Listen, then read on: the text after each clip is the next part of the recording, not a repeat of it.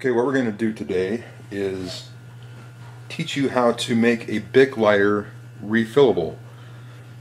And I'm not talking about making, or re, I'm not talking about refilling a Bic lighter, as there's lots of videos on YouTube that show you how to take a push pin and push through the center uh, bearing, the little ball that, that seals up the, the hole there.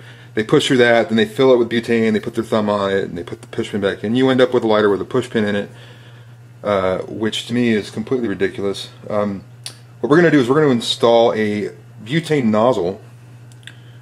Looks kind of like this, and I will put a picture up to show you more detail, but it's threaded towards the back here, and we're going to drill the hole such that we can thread the nozzle into the lighter, and of course have a nice seal on the end of it so we don't leak.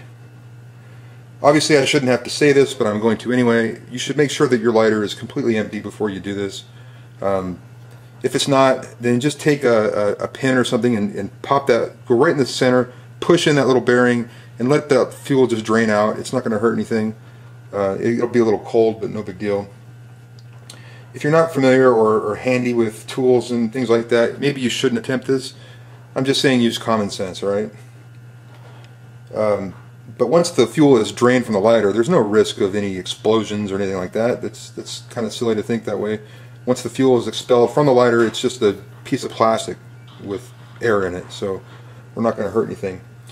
Now we're going to start off with using this. I don't know what these drill bits are called, um, but it's got a it's got kind of a, a, point there on it, and it's flat. You notice how it's flat. And it's made to drill these flat round holes, I guess. I don't know. But what we're going to do is we're going to let this part start the hole, starting in the center, and we're going to just let the drill lightly, we push down lightly because this plastic is very easy to drill through. And if you go, if you push too hard, you're going to go right through it and you'll have to start over with a new lighter. But what this does is this will flatten out the edges and it'll let us, we're going to drill it down to the depth of the very top of the nozzle so that that'll sit down and sit flush with the rest of the plastic because we don't want the nozzle to stick out otherwise we couldn't stand the lighter up and we wouldn't be very functional we wouldn't be able to do this with it. You know, it won't stand up on this towel but you get the idea.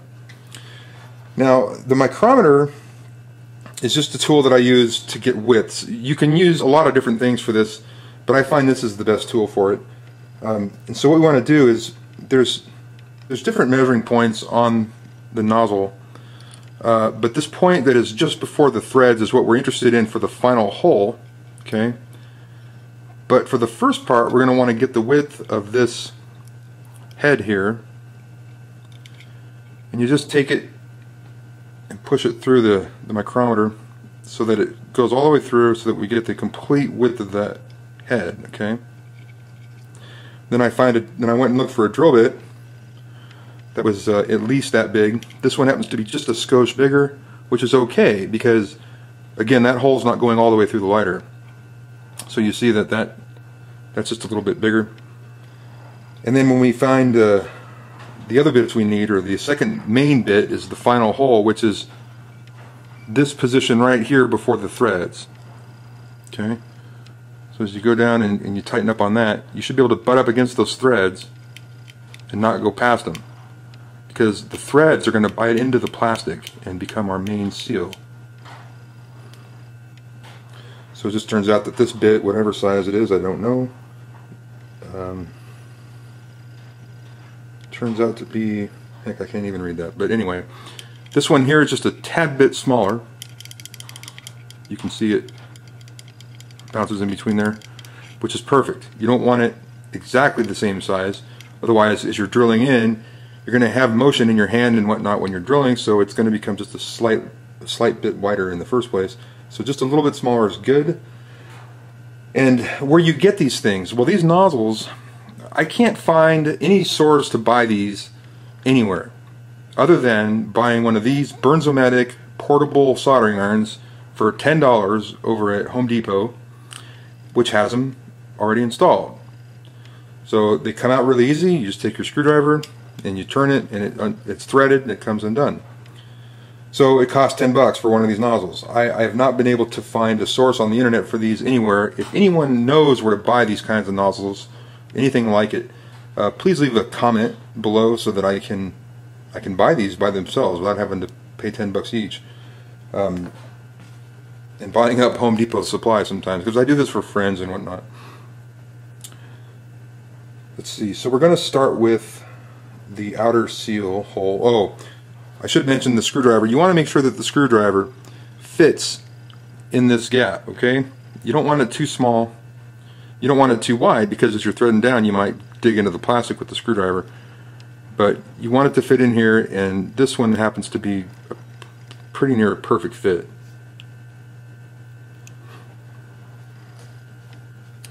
So we're going to start with our big the seal we're going to let this point go right in the center of that lighter.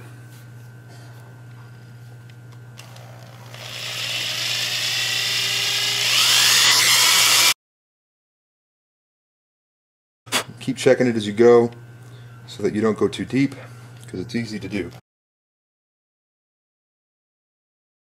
Of course you're going to want to check it. Now it looks like I might be leaning a bit.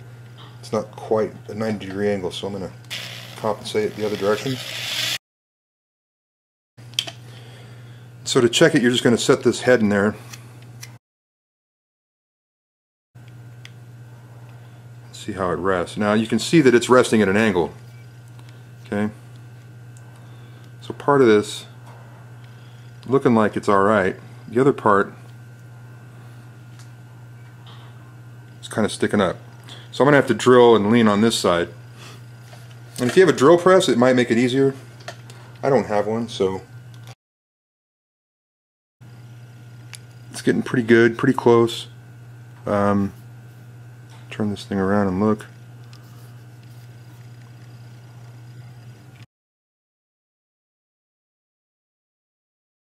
So you're making this outside hole for the for the seal.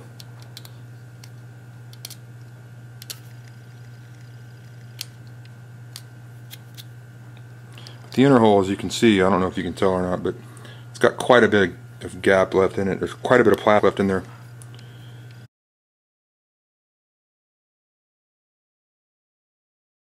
So I might just go just a little bit deeper because I really want that thing to be flush when I'm done.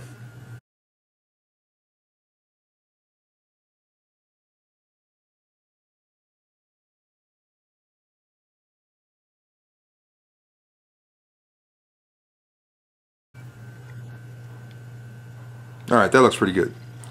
Now having that, that washer stick out is a good thing because it's going to get crunched down and sealed in anyway. So now we're going to start with our small bit.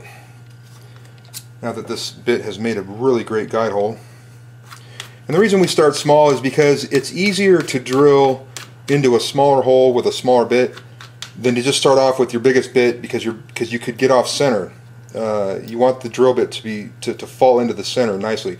So we're going to drill small and then taper up so that we don't screw anything up. And I need to mention as well, as you go in here, there is a um, for reinforcement of this of this uh, outside casing. They've got a wall of plastic in, that goes right down the cross section center there, and goes all the way down here. And we're gonna have to we're gonna have to chip some of that out in order to get this nozzle to fit. Uh, and you'll feel it as you drill in. You'll start drilling into it, and if you're careful enough, you can drill into it pretty well to save you the hassle of having to chip it out or chip a lot of it out. Because if you make if you chip it out and you make chunks that are too big, they won't come out the hole. So you gotta gotta be cognizant of that.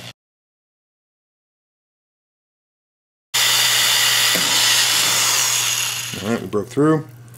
You can hear it, little pieces in there.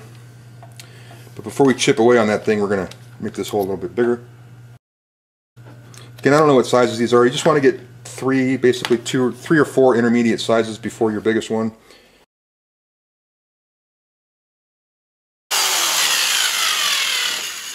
Now see, as I started, as I started to hit that wall on the inside, I started to pull my drill off to the left. Not a good thing, but we should be okay. Okay. Now that's the biggest size of the hole. You can you can see down in there some of that wall that we got to chip away at. You want to use the bit to measure, you know, when it's going to hit. so that you know when this is going to hit because if you put this in, you know, it needs to be pretty deep. It's got to be able to get through that. So you want to chip it away in little pieces. You don't want to go down and take a big chunk out because you got to make it fit through this hole. And when you shake it, it'll all eventually come out if it's small enough. So we just start with, we feel where the wall is and we go up to the tip as far as, good, as much as we can and still get some bite on it. And just start chipping it away.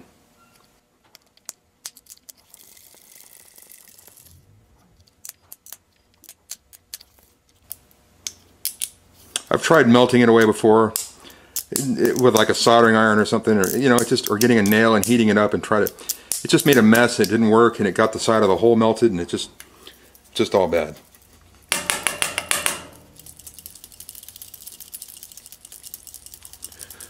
Now the problem with leaving pieces in there if they're small enough they'll clog up the uh, the, the butane nozzle as the butane expels when you light the lighter had it happen before it made the flame extremely small and worthless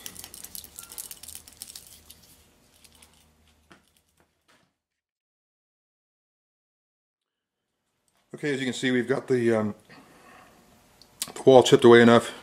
If we put the, let's just put a bit in there until it hits against that wall. Put our finger there. Compare it. You see we got plenty of room there. So, next thing we do is we press the in. You can do this, you probably tap it in with a hammer. Um, you could use wood clamp, you know, something that will clamp down. But basically, you're just trying to press it in and you could probably just put it upside down and push down on it but I like to use the vise so we're going to switch over here to the vise just makes it easier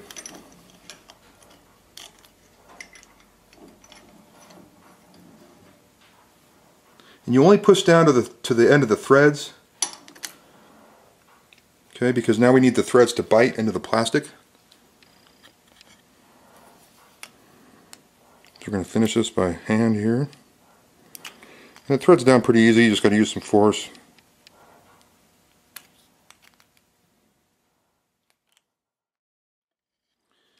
Alright, you see we've got it installed. You can see it's flush. It'll it'll definitely stand up. Yep. And just to prove that it works, some butane in it.